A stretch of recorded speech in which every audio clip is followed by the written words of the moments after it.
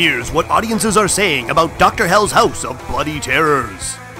It was brilliant. It was a little scary. Awesome! Great.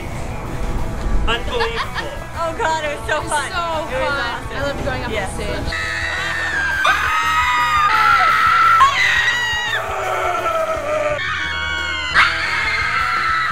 I may have cropped my pants a little bit.